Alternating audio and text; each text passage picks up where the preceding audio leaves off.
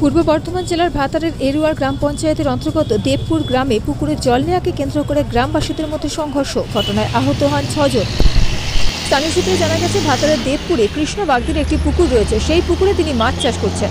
আর ওই গ্রামেরই হাড়া বাগদি তার জমিতে জল দেবে বলে পুকুর থেকে জল নিচ্ছিলেন। পুকুর থেকে মাছ চাষ করার জন্য পুকুরের থেকে জল দেবে না বলে জানায় কৃষ্ণ বাগদি। এরপর হাড়া বাগদির সঙ্গে কৃষ্ণ বাগদির মারপিট শুরু হয়।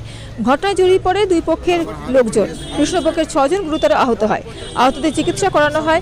থানায় লিখিত অভিযোগ জানায় আহতরা। ঘটনাকে কেন্দ্র করে দেবপুর গ্রামে উত্তেজনার সৃষ্টি হয়। পুলিশ জানিয়েছে অভিযোগ পাওয়া গেছে, বিষয়টি খতিয়ে দেখা হচ্ছে। ভাতার থেকে আমিরুল ইসলামের রিপোর্ট, মোবাইল নিউজ কোপাইছে